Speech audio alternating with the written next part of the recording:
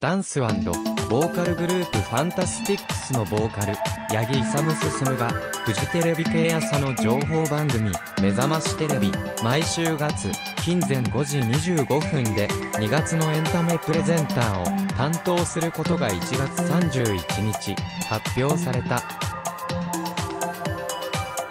八木は2月7日、14日、19日、26日の4回、出演予定で午前6時台のエンタメコーナーをはじめ今時目覚ましじゃんけん生原稿読みなどを行い7時台からは MC として番組終了まで出演する。